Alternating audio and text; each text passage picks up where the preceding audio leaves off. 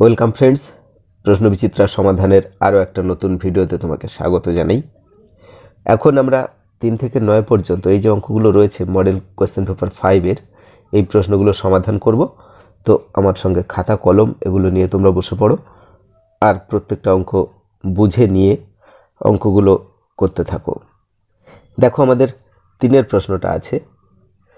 Five point seven six two সংখ্যাটিকে পর্যায়ক্রমিক বিবর্ধক পদ্ধতির সাহায্যে সংখ্যারেখায় স্থাপন করো। দেখো, আমরা একটা সংখ্যারেখা এঁকে নিচ্ছি এখানে। আর এখানে আমি আট থেকে আঠারো পর্যন্ত, তোমরা যেমন খুশি, এরকম দশটা ঘর নিয়ে নেবে। দশটা ঘর নেবে আর প্রত্যেক সেন্টিমিটারে একটা করে দাগ দিয়ে নাও। তাহলে খুব সুবিধা হবে আর সঠিক হবে জিনিসটা। তো এরকম আমরা দশটা পয়েন্ট করে নিলাম। এইখানে যে সংখ্যাটা আছে, দেখো, এটা হচ্ছে five point seven six two মানে সংখ্যাটা আছে পাঁচ থেকে ছয়ের মধ্যে। তাই আমি এই বিন্দুটাকে নিলাম পাঁচ আর এই বিন্দুটাকে নিলাম ছয়।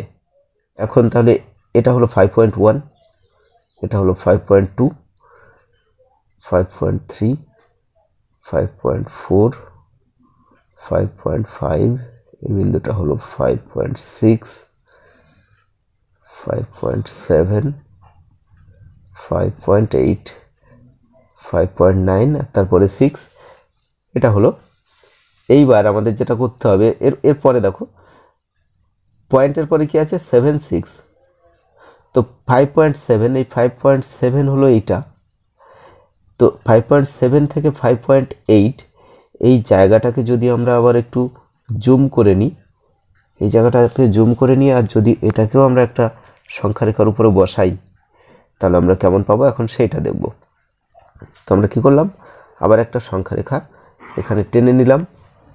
ঠিক একইভাবে আমি টুকরো করে নেব এটাকে।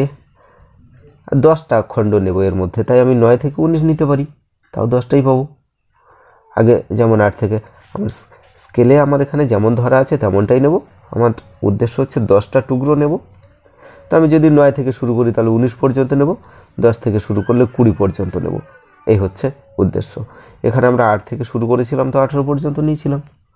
এখন আমি এইটাকে আবার আবার দশ ভাগ করে নিচ্ছি। আবার প্রত্যেকটাকে দশ ভাগ করে নিচ্ছি। এই দশটা টুকরো করে নিলাম। যার মধ্যে এই যে ফাইভ পয়েন্ট সেভেন এই ফাইভ পয়েন্ট সেভেন এখন এসছে এইখানে এটা হলো ফাইভ পয়েন্ট সেভেন আর ফাইভ পয়েন্ট এইটটাকে আমরা নিয়েছি। এখানে।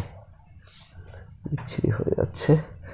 ফাইভ পয়েন্ট এইট এইবার ফাইভ পয়েন্ট সেভেন তো তারপরে যেটা হবে, সেটা হবে ফাইভ পয়েন্ট সেভেন ওয়ান তারপরেরটা হবে ফাইভ পয়েন্ট সেভেন টু এরপরেরটা হবে ফাইভ পয়েন্ট সেভেন থ্রি এরকমভাবে এটা ফাইভ পয়েন্ট সেভেন ফোর এটা সেভেন ফাইভ এটা seven six five point seven six এরপরেরটা আছে ফাইভ পয়েন্ট সেভেন সেভেন এবার যে সংখ্যাটা আছে, দেখো, আমাদের আছে সেভেন সিক্স টু তাহলে এই যে সেভেন সিক্স টু এটা সেভেন সিক্সের পরে থাকবে সেভেন সেভেনের মধ্যে।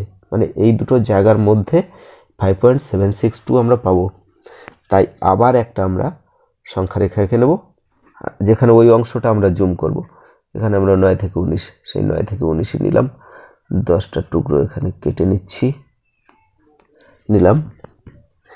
এবার দেখো ফাইভ পয়েন্ট সেভেন এই যে ফাইভ পয়েন্ট সেভেন সিক্স এই বিন্দুটা এখন আসলো এইখানে।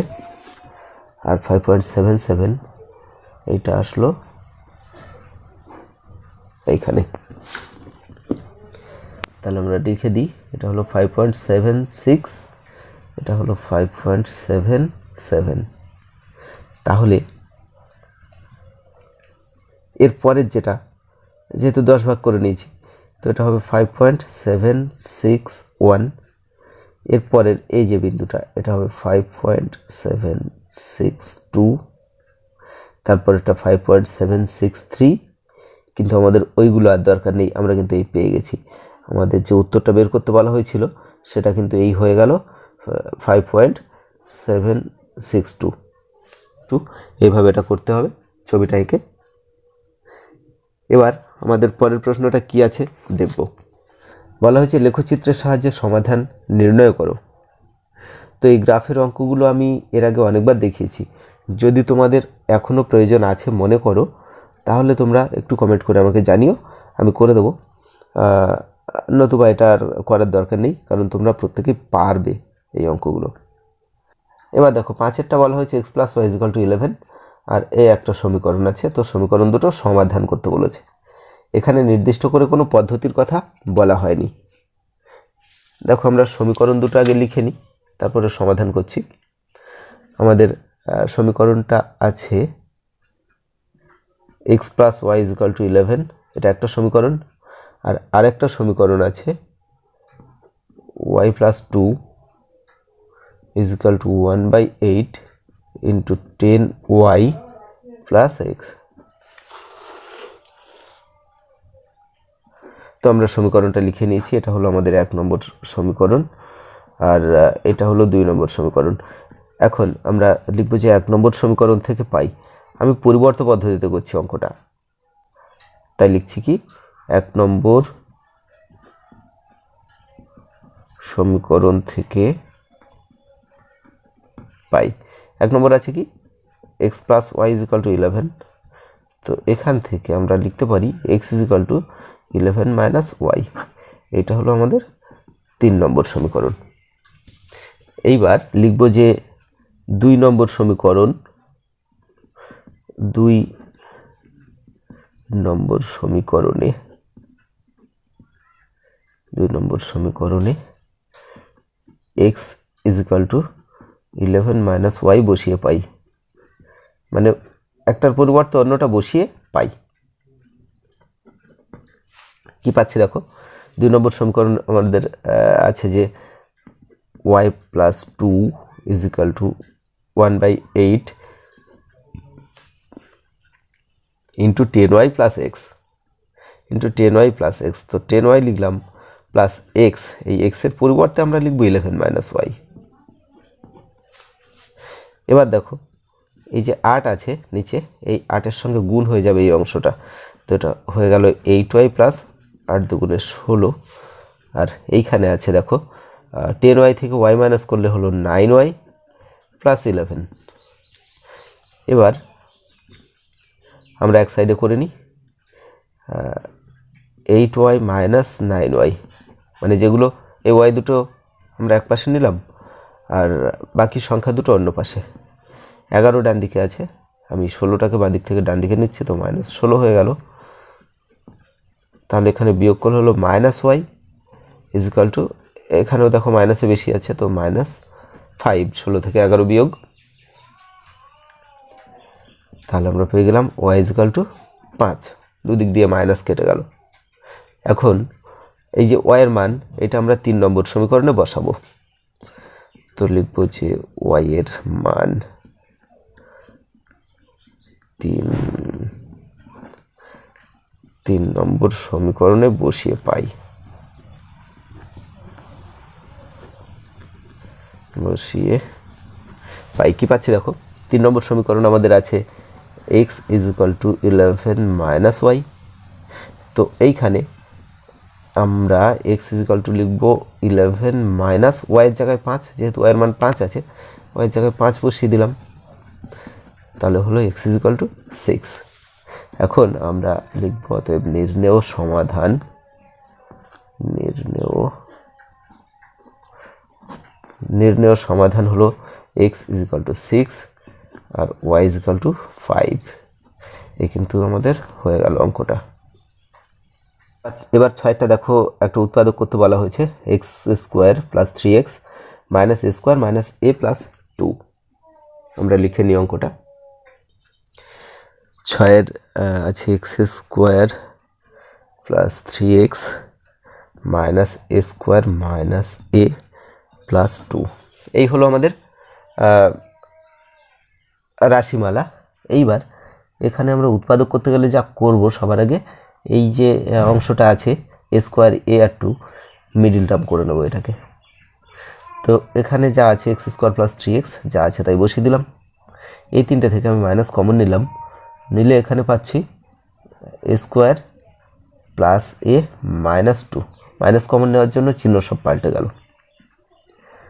তো এখন হলো x square plus three x minus দেখো, এইখান থেকে এইখান থেকে, এই এই যে টু আছে, এই টু থেকে আমাদের করতে হবে ওয়ানের সহগ এখানে ওয়ান আছে মানে এর সঙ্গে কিছু গুণ নেই, তাই এক আছে।